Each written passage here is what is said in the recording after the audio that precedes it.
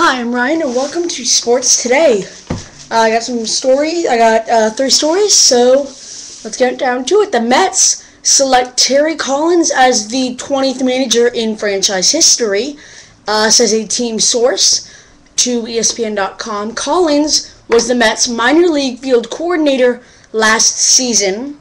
He's also been a manager for the Astros uh, back in the 80s, I believe. Uh, the Jets stunned the Texans after a fourth quarter collapse. They didn't need to go over. They didn't need to go into overtime to win this one.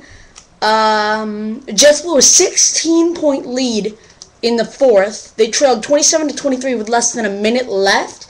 And Sanchez has two passes to LaDainian Tomlinson in a 42 yard heave to Braylon Edwards. In the next play, Sanchez found Holmes in the left corner of the end zone to win the game. They are now 8 and 2.